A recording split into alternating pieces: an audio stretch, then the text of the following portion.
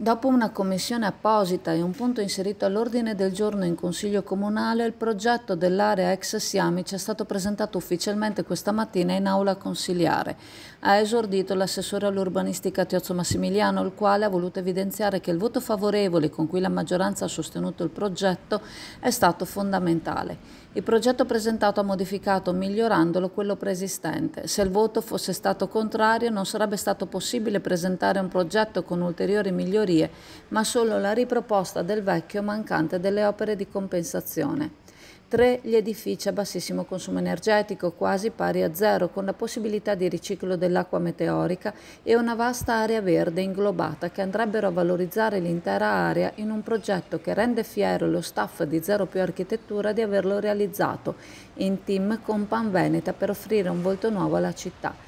Giardino sospeso è il nome del progetto che vedrà il verde come un punto importante della realizzazione, mantenendo molte delle alberature presenti e creando spazi per altre essenze che andranno a creare un unico fil nella zona, con una scelta di piante sempreverdi bisognose di poco consumo idrico.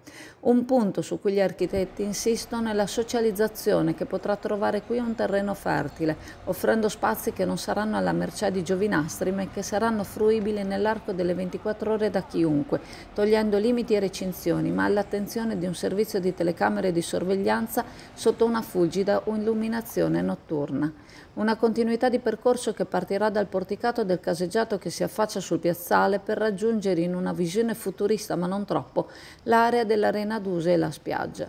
Ci sono alcuni punti ancora in itinere in quanto alcuni dubbi manifestati in commissione sono stati colti e tenuti in considerazione dalla proprietà e dallo studio tecnico.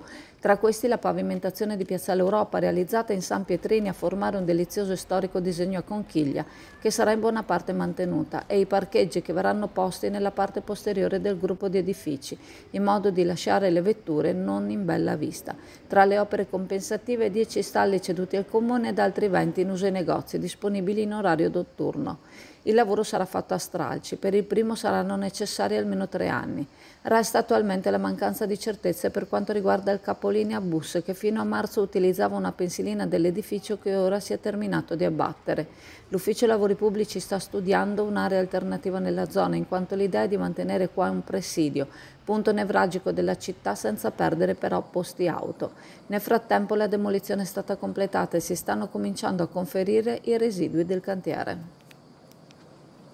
Allora siamo alla scrivere la Camera qua i saloni e, e, la Camera ha deciso di iniziare il servizio di pulizia del pesce. È assolutamente obbligatorio la prenotazione per la pulizia del pesce.